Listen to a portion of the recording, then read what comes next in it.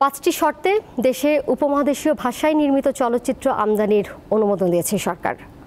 মঙ্গলবার এই সংক্রান্ত প্রজ্ঞাপন জারি করেছে তথ্য ও সম্প্রচার মন্ত্রণালয়। শর্তগুলো হলো, শুধু বাংলাদেশের বৈধ চলচ্চিত্র প্রযোজক, পরিবেশকরা উপমহাদেশীয় ভাষায় নির্মিত চলচ্চিত্র আমদানি করার সুযোগ পাবেন। প্রথম বছর দশটি চলচ্চিত্র রপ্তানির বিপরীতে দশটি সিনেমা আমদানি করা যাবে। এছাড়া আমদানিকৃত সিনেমার ক্ষেত্রে সেন্সর বোর্ডের সনদ গ্রহণ করতে হবে।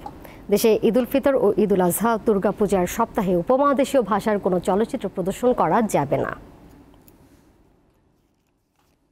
পাঁচটি শর্তে দেশে উপমহাদেশীয় ভাষায় নির্মিত চলচ্চিত্র আমদানির অনুমোদন দিয়েছে সরকার।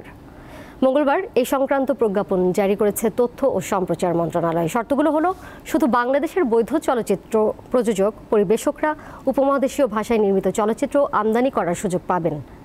প্রথম বছর দশটি চলচ্চিত্র রপ্তানির বিপরীতে দশটি সিনেমা আমদানি করা যাবে। এছাড়া আমদানিকৃত সিনেমার ক্ষেত্রে সেন্সর বোর্ডের সনদ গ্রহণ করতে হবে।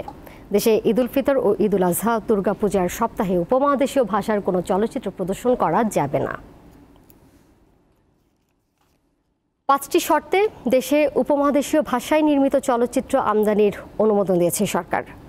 মঙ্গলবার এই সংক্রান্ত প্রজ্ঞাপন জারি করেছে তথ্য ও সম্প্রচার মন্ত্রণালয়। শর্তগুলো হলো, শুধু বাংলাদেশের বৈধ চলচ্চিত্র প্রযোজক, পরিবেশকরা উপমহাদেশীয় ভাষায় নির্মিত চলচ্চিত্র আমদানি করার সুযোগ পাবেন।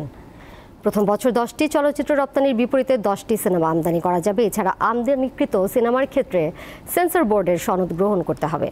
দেশে ঈদুল ফিতর ও ঈদুল আজহা দুর্গাপূজার সপ্তাহে উপমহাদেশীয় ভাষার কোনো চলচ্চিত্র প্রদর্শন করা যাবে না। পাঁচটি শর্তে দেশে উপমহাদেশীয় ভাষায় নির্মিত চলচ্চিত্র আমদানির অনুমোদন দিয়েছে সরকার।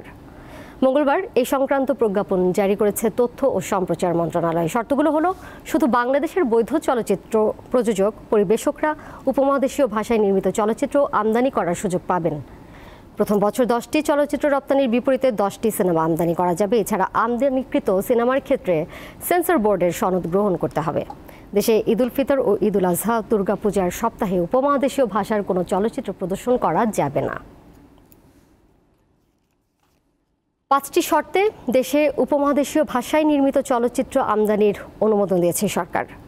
মঙ্গলবার এই সংক্রান্ত প্রজ্ঞাপন জারি করেছে তথ্য ও সম্প্রচার মন্ত্রণালয়। শর্তগুলো হলো, শুধু বাংলাদেশের বৈধ চলচ্চিত্র প্রযোজক, পরিবেশকরা উপমহাদেশীয় ভাষায় নির্মিত চলচ্চিত্র আমদানি করার সুযোগ পাবেন।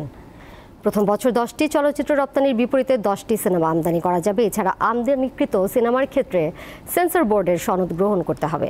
দেশে ঈদুল ফিতর ও ঈদুল আজহা দুর্গাপূজার সপ্তাহে উপমহাদেশীয় ভাষার কোনো চলচ্চিত্র প্রদর্শন করা যাবে না।